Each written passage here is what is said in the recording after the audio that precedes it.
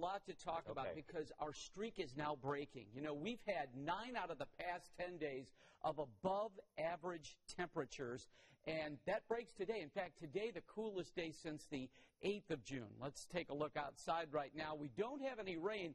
Let me tell you what I'm watching. I'm watching an area of rain. Let me run over here, and here it is Champaign. There's rain moving in there.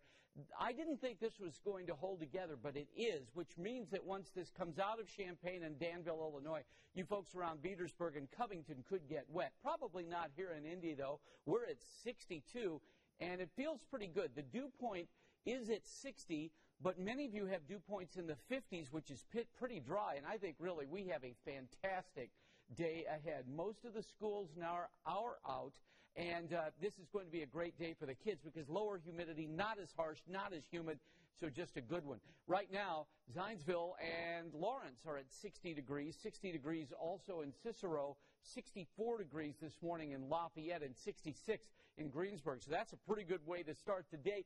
Uh, we'll stay in the 60s for several hours, 76 by 1 p.m. with a high eventually of 78.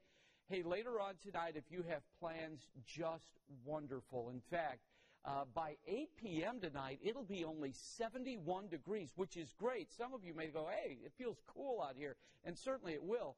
And uh, we're going to have just a wonderful evening. The potential for rain, yeah, we could see a stray shower today, but really as we go through the week, I'm not looking for much rain in between, let's say, now and Thursday.